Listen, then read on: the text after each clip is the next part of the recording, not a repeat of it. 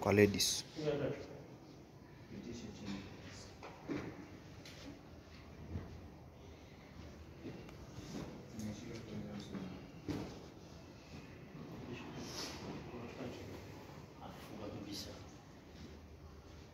Hii nyepesi kidogo hii.